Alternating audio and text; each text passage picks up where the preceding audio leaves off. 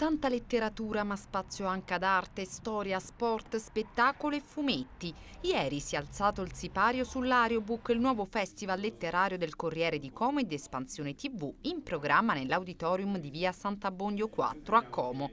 A dare il via all'evento è stata Mariana Trevisan, volto noto televisivo che ha presentato il suo romanzo La donna bonsai.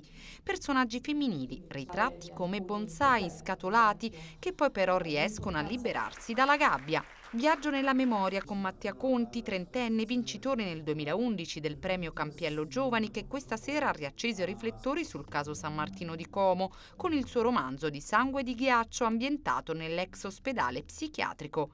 La settimana è ricca di eventi e incontri, tutti all'insegna della cultura. Domani, 9 maggio, sarà la volta di Paolo Di Stefano, autorevole firma del Corriere della Sera, che presenterà il suo romanzo Secu non ha paura.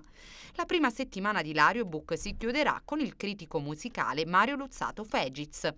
Un mese di incontri e dibattiti proposti in collaborazione con alcune delle maggiori case editrici nazionali e con scrittori, giornalisti, critici, economisti ma anche grandi campioni come il ciclista Damiano Cunego che il 19 maggio, a pochi giorni dalla tappa comasca del Giro d'Italia, presenterà la sua prima autobiografia scritta con Tiziano Marino, Puro Sangue.